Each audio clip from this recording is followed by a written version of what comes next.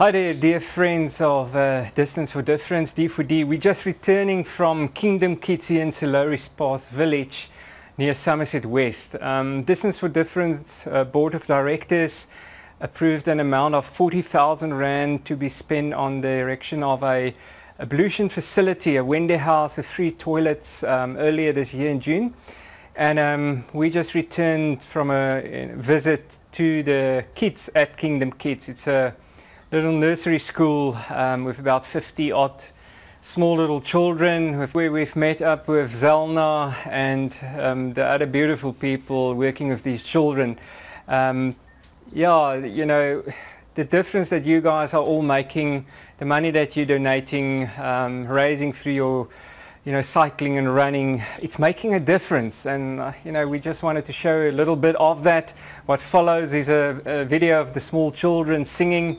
Um, we gave each child a little present. Um, you know, in this time, this Advent time, Christmas time, for many of them, probably majority of them, it will be the only present that they will be seeing this, um, this Christmas time. And, you know, to make this kind of a difference in the lives of these children is amazing. And I wish we, you know, could all have all of you there uh, to see the impact that you are making and the, and the difference that you guys are making. Um, and, you know, hopefully this little snippet that I'm going to show you now will, will give you a warm feeling because that's what you all need to have, um, seeing the difference that this is making.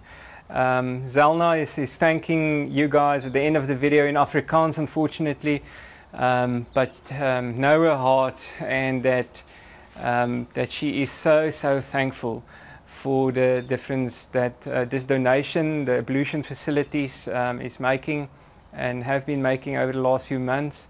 And then this little donation. Um, they just heard this morning that the, shoebox project that normally also donates to them, um, you know, withdrew right this morning and on the same day um, we visited them with these presents. So, you know, the Lord is working in amazing ways and um, to be his hands and feet and, uh, you know, making a difference is, is um, man, it's, it's just a, it's a good feeling. And, um, you know, all glory to him. And again, thank you for all of you that's uh, making a difference through, through distance for difference. D4D. Viva! Cheers!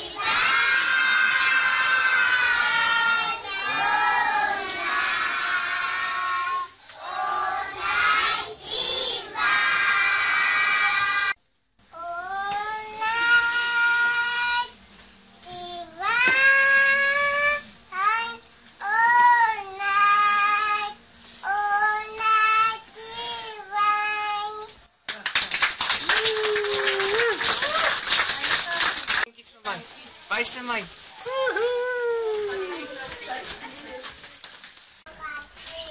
Ek wil vanmiddag um baie baie dankie sê aan uh, die direkteure van D4D.